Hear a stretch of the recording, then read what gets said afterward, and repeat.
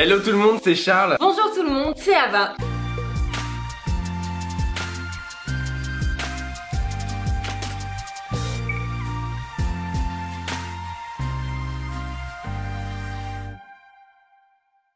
Alors aujourd'hui, ça fait un peu longtemps qu'on n'est pas revenu dans notre petit décor pour vous faire une petite recette et on repart pas avec n'importe quelle recette. Non, non, non. Aujourd'hui, on va vous faire quelque chose qui sent le soleil, quelque chose qui est frais, qui est beau, Qui est fraise même. qui est fraise parce qu'on va vous faire le fraisier de Yann Couvreur. Alors vous avez dû déjà le croiser de très nombreuses fois Le sur hein, Instagram. pas Yann. Peut-être Yann aussi, je ne sais pas. et vous dire, il est super beau, il sort de l'ordinaire, il a l'air frais, j'ai envie de le manger.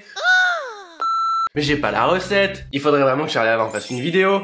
Pour ma part, quand j'ai vu le fraisier, je me suis dit ça doit être super compliqué de tout faire tenir, etc. J'avais pas encore lu la recette, mais vous allez voir, c'est pas si compliqué que ça. Même pas compliqué. Pas compliqué. Dans ce fraisier, il va donc y avoir une couche tout en bas, parce que oui, c'est un montage à l'envers. Après, on va retourner le gâteau. Merci. J'essayais d'imager le, le montage à l'envers, mais c'était pas... Donc il va y avoir des rondelles de fraises tout en bas, qui seront donc tout au-dessus, et sur le côté de l'entremet.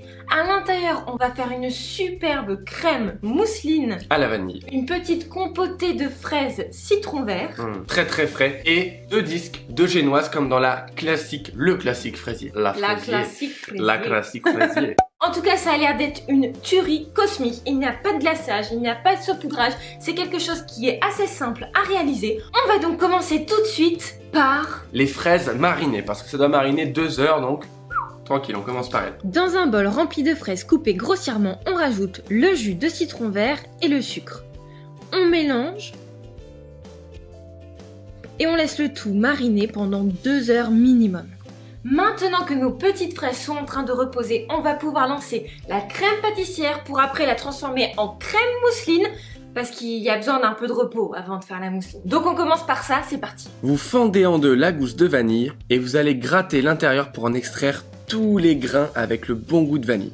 Dans un cul de poule, vous allez mélanger les œufs entiers avec les jaunes, le sucre. Vous fouettez bien vivement pour incorporer le sucre dans les jaunes et qu'il ne puisse pas les brûler. Puis vous ajoutez la maïzena ou la fécule de pomme de terre ou la poudre à crème selon ce que vous avez chez vous et vous mélangez. Dans une casserole, vous versez le lait avec un petit peu du sucre et les grains de vanille. Vous ajoutez également la gousse qu'on va laisser infuser dans la crème. On la chauffe jusqu'à ébullition, puis on arrête la cuisson et on laisse infuser pendant 10 minutes sous un film plastique. On verse au travers du tamis sur notre préparation d'œufs et de sucre et on mélange. Une fois que c'est homogène, on remet le tout à chauffer dans la casserole à feu moyen et on va la cuire à ébullition pendant 1 minute 30. Elle va épaissir. Il faut un petit bouillon, c'est-à-dire qu'il vous faut des petites bulles à la surface de votre crème pâtissière et ce pendant 1 minute. Ensuite, on coupe le feu et on incorpore la première partie de beurre coupée en dés. On mélange pour bien l'incorporer. Et on va pouvoir réserver notre crème pâtissière dans un récipient large. On va la filmer au contact et la laisser une heure au réfrigérateur. Voilà, notre crème pâtissière elle est en train de reposer. On va lancer nos petites génoises. Allumez déjà le four là, 180 degrés. Direct. Faut le préchauffer. Et on va faire une génoise un peu à l'ancienne, au bain-marie. Vous allez voir, c'est sympa. Sur un bain-marie bien fumant, on vient mettre notre saladier avec nos œufs, on rajoute le sucre semoule et on fouette le tout jusqu'à atteindre 45 degrés. Il ne faut pas cesser de fouetter pour que les œufs ne cuisent pas. Ça doit doubler de volume. Ensuite, on vient le mettre dans le bol du robot muni du fouet et on vient fouetter le tout jusqu'à ce que ça triple de volume. Le but ici est de faire refroidir la préparation.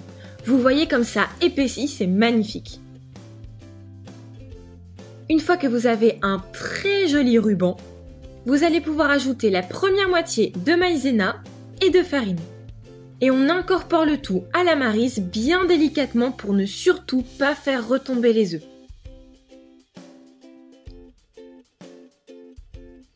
Une fois que la première moitié est incorporée, on ajoute la farine et la maïzena restante et on mélange le tout pour que ce soit bien homogène.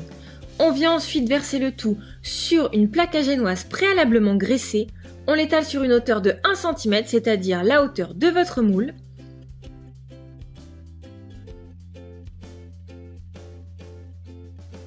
On lisse le tout et on enfourne pour 10 minutes à 180 degrés. À la sortie du four, vous retirez immédiatement de la plaque pour que la génoise arrête de cuire. Une fois que la génoise est froide, vous allez pouvoir venir tailler un cercle de 14 cm et un de 12 cm. Ça, c'est parce qu'on va monter notre entremets dans un cercle de 16 cm. Si vous avez un cercle de 14 cm à la maison, vous taillez un cercle de 12 et de 10 cm. Vous retournez la génoise, vous redécoupez sur vos premiers traits et vous enlevez le surplus. Et maintenant que notre pâtissière est bien refroidie, on va pouvoir lui incorporer du beurre pour la transformer en crème mousseline. Il ne nous restera ensuite plus qu'à faire un joli sirop d'imbibage au citron vert pour pouvoir monter notre gâteau, le laisser reposer et la magie devrait opérer. Vous avez l'habitude avec nous, avec tous les entremets qu'on vous a fait faire, normalement on le laisse reposer au congélateur.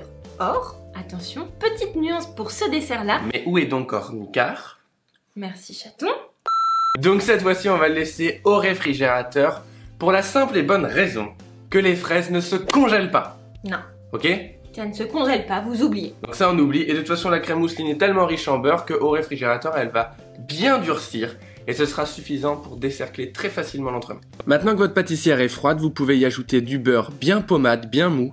Et vous allez fouetter ensemble le tout jusqu'à ce que la crème monte et devienne une mousseline superbement aérée. Vous voyez qu'elle blanchit, elle épaissit beaucoup. Et elle est belle. Pour le sirop, on va verser l'eau et le sucre tout simplement dans la casserole qu'on va porter à ébullition. Et une fois qu'elle est à ébullition, on stoppe la cuisson et on y ajoute le jus de citron vert qu'on mélange tranquillement. On va attendre qu'il refroidisse très légèrement avant d'imbiber sur chaque face nos génoises à l'aide d'un pinceau. On les imbibe légèrement, on retourne nos crêpes et on rajoute un petit peu de sirop d'imbibage. Regardez à quoi ça doit ressembler. Pour le montage, on vient déposer des rondelles de fraises dans tout le fond de notre cercle. Ici, notre cercle fait 4,5 cm de hauteur. On a donc ajouté un rhodoïde de 6 cm car l'entremet doit faire 6 cm de haut. Si vous avez un cercle à entremet de 6 cm de hauteur, c'est parfait, mais il vous faudra quand même le rhodoïde. Une fois que vous avez tapissé entièrement le cercle avec les fraises, on ajoute la crème mousseline et vous l'ajoutez bien dans les angles pour qu'au démoulage, vous ayez de la crème entre chaque fraise. Vous allez lisser à l'aide d'une petite spatule la crème mousseline sur les bords pour encore une fois bien incorporer la crème et on va déposer la plus petite rondelle de génoise.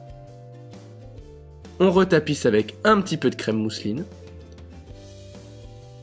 On étale ça légèrement avec notre palette. Et on va y ajouter les fraises marinées. Alors là, si vous sentiez à quel point ça sent bon le citron vert, c'est une tuerie. On rajoute un petit peu de crème mousseline. On lisse encore une fois à la palette. Et on ajoute le dernier cercle, le plus grand, de génoise. Et on finit avec un, petit peu de crème mousseline pour lisser le tout à hauteur et on va le laisser reposer 12 heures minimum au réfrigérateur. Une fois qu'il est bien refroidi, on va pouvoir venir le démouler. On enlève le cercle, ensuite on le retourne sur une assiette, on enlève le film plastique, ainsi que le rhodoïde. Ouais, c'est canon C'est C'est magnifique. hyper beau Regardez l'aspect parfait. Faites attention que les fraises se décollent pas avec le rhodoïde. Et on va pouvoir venir découper cette petite merveille pour le déguster. Alors à quoi ça ressemble à l'intérieur? On met au ralenti ou quoi là? C'est pas possible On veut voir l'intérieur On veut voir l'intérieur Waouh. Ah ouais, c'est généreux, ça a l'air tellement bon. Ça sent hyper bon les fraises. Chaton, est-ce que même s'il y a des fruits, tu vas y arriver? J'atteste, euh, parole de, Scoot. de Spider-Man, que je vais la manger. Allez, c'est parti.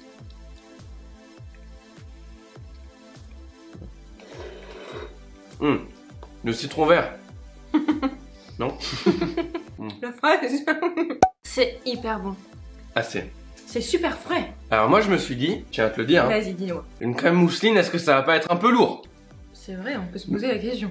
Vous êtes en droit de vous poser la question, même si c'est un classique fraisier, il y a une mousseline dans un fraisier. Mais alors c'est hyper léger. Surtout sortez-le 30 minutes avant de le déguster parce que la crème mousseline elle est un peu dense quand elle sort à peine du frigo. Mhm. Mais après 30 minutes c'est léger. C'est super bon. Les fraises sont fraîches et le citron vert Ça ramène du peps. Ah, c'est génial, c'est hyper frais, ça se mange très facilement. La crème est hyper vanillée, c'est super bon. Ah, honnêtement, je valide à 100%. C'est frais, c'est rapide à faire. Faut juste être un peu patient et organisé. Mais c'est le dessert de l'été, je pense. Bon, même si c'était celui de l'année dernière, c'est quand même celui de cette année aussi. Allez, hashtag euh, gâteau de l'été. voilà, on espère que cette vidéo vous, Vous a a plu. plu. Nous, franchement, elle nous a plu. Ah oui, franchement, Ouais, check it. surtout la dégustation. on peut Comme d'hab. dire. Si vous avez envie de refaire cette recette, N'hésitez pas. bah refaites-la. c'est un conseil d'amis. N'hésitez pas à nous mentionner pour qu'on vienne la voir. On sera super fiers de vous. Vous pouvez mettre le hashtag Charlie Ava ou nous mentionner Charlie Ava comme vous voulez. Si cette vidéo vous a plu, n'hésitez pas à mettre un gros pouce bleu en l'air, à nous écrire quelques commentaires si vous avez des petites choses à nous dire, à vous abonner et aussi appuyer sur la petite cloche pour recevoir toutes les notifications. Sur ce, nous, on va vous faire des énormes bisous. On vous dit à dimanche pour une prochaine vidéo hyper gourmande. Vous allez adorer. Vous allez kiffer. Gros bisous. À À dimanche.